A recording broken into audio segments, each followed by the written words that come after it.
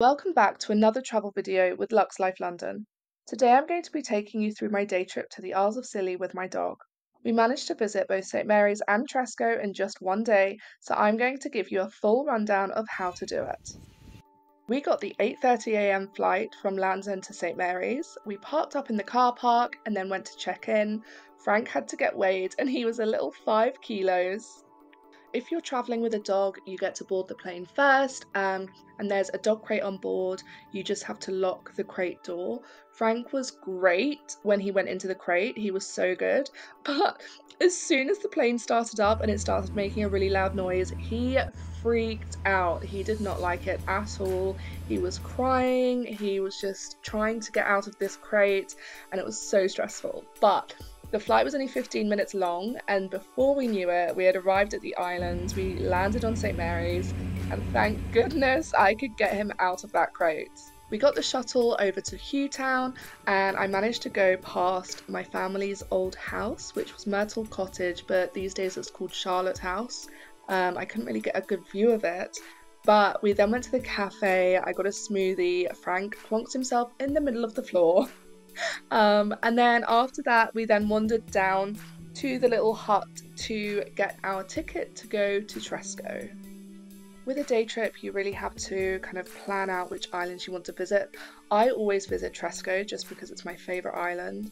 I think it's just so beautiful. I'm also very biased because my family are from there, so it's just really special to me.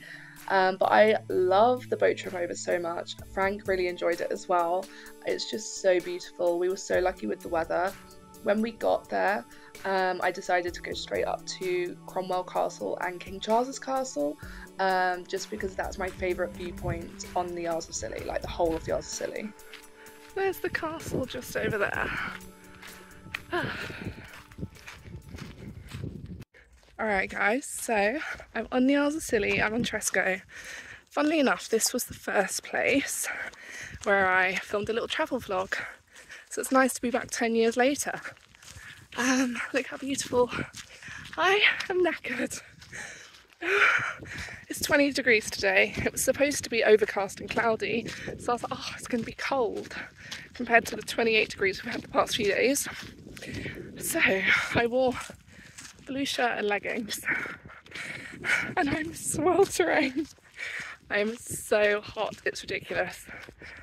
And I also forgot that to get up to King Charles's Castle on Tresco, you've got to go up a big hill. So yeah, I don't know. So I got sweat patches everywhere. But anyway, it's so nice here. I'm so glad I'm back and Frank is having a great time. He is absolutely loving it. Okay, so Frank and I are here at King Charles's Castle, just here on Scilly. And here is the view. So Frank's having his water and his food with this view. I have a cheese straw from the cafe on St Mary's. But look how beautiful it is. Okay, so I thought I would do some top tips of having a great day trip to Scilly. Um, so my first recommendation is do not take the Scillonian. I've done the Scillonian before for a day trip and it literally made me so seasick that I couldn't actually enjoy the day. I spent the whole day feeling sick and being sick in the cafe. Um, yeah, literally couldn't do anything. So do not get the Scillonian unless you have a very, very strong stomach. And like, I'm never usually seasick. Only the Scillonian makes me seasick. And then, so make sure you get the plane, the Skybus. I got the 8:30 a.m. flight out from Land's End, and then I'm getting the 5:30 p.m. flight back. Um, so it gives you a full day, whereas the Scillonian as well, it's like a two and a half hour trip each way. And it's cheaper, but you have far less time on the island. You've only got like a few hours to enjoy on the islands, and that's not enough time to come to the other islands. You kind of have to stay on St. Mary's. First tip. My second tip is come to Tresco. This is my favourite island, and I am so biased because all my family from Scilly come from Tresco. So I'm very biased, but I do think it's the nicest island. There's just so much to do here, so much to see. Um, whereas the other islands, it's kind of just beaches. Um, I'm not. Bryher has. Bryher's nice. It's very rugged, uh, but there isn't really anything to do there other than go to the beach and go to the crab shack, which is amazing. Um, St. St. Agnes and St. Martin's, again, it's kind of just amazing beaches. Tresco, you've got the Abbey Gardens, King Charles's Castle, where I am now, Cromwell Castle, Ruin Beach, um, the New Inn. Again, I'm biased because my great great grandfather used to run the New Inn pub, but it's a great pub, an amazing B and B as well if you're staying overnight. Um, so yeah, my second tip is don't just stay on St Mary's. Come to the other islands, come to Tresco, because it's just stunning. And then when you do come to Tresco, make sure you don't go to the Abbey Gardens first. Um, everybody gets off the boat and they go straight to the Abbey Gardens, especially the day trippers. That's the wrong thing to do because then it's going to be packed with people. You want to come up to King Charles's Castle first because nobody comes here, as you can see. It's empty. It's just me, just me and Frank. Frank's over there. it's just us, and it's so peaceful. It's so beautiful, and this is where you get the best view on the whole island. So yeah, do King Charles's Castle and Cromwell Castle first, and then go to. Well, you can either go to Ruin Beach Cafe or the New Inn for lunch. I'm biased. I love the New Inn pub, um, but both are really good. And then after lunch, that's when you want to go to the Abbey Gardens. Um, people tend to have drifted off a bit by then. Every I don't know why everyone does it in the morning. Every time I've been here, it's just packed in the mornings. Afternoons, I find it's a lot quieter. So go there in the afternoon, like straight after lunch, and then you enjoy the Abbey Gardens, and then you get the boat back to St Mary's. Um, and you have to be at the airport an hour before your flight, so you have to be there at four thirty. So if you get a boat back at like half two, three o'clock, then you can have maybe a little bit of time on St Mary's, and then get the shuttle back to the airport, and that's your day done. You've had a lovely day on Scilly, enjoying Tresco and a little bit of St Mary's. Um, and really, what more do you want? Like, it's just so beautiful. I mean, look at this view. It is just stunning. Absolutely stunning. And then, so you've got Bryher over there. That's Bryher. And then I think that one straight ahead is Samson.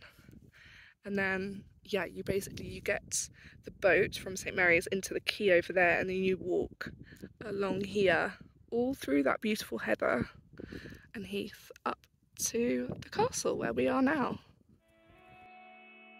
It doesn't take very long to walk around the castle, it's just a few ruins, but the views from these little windows are stunning. You can really imagine what it would have been like hundreds of years ago. I just am obsessed with window with windows with views. Um, and then Frank and I walked all the way back down to the main area. Um, and Frank, he just gave up halfway down, so I had to carry him. But the landscape is just so beautiful, I wasn't really fussed. Okay, so we're walking back to the main area of Tresco. I think Frank is starting to flag a bit. His legs bless him.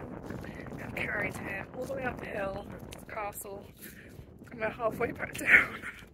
and he's just like, mm, I don't want to do this anymore. So I feel like at some point I'm going to have to just carry him which is not ideal on such a warm day. It's not even that warm, it's 19 degrees, so but it feels warmer. I think it's because the sun is directly on us. I've had to put my hair up and everything. Um, but yeah, where is he? There he is. You're right, Frank. Come on then.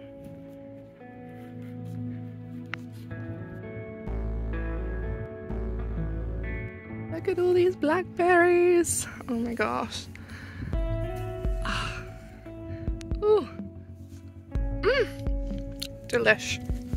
Me, Frank. Delicious. hey, Smiley. The Ruin Beach Cafe was so dreamy. I literally cannot even begin to tell you. I had the most incredible crab on toast. It was absolutely amazing. Frank had a lovely nap. Both of us were so happy. I was by the beach, I was eating crab, it was just dreamy. And then we walked up to Green Cottage, which is my family's old cottage on Tresco. Five generations of our family lived there. And then we went for a little stop in the church before heading down to the beach.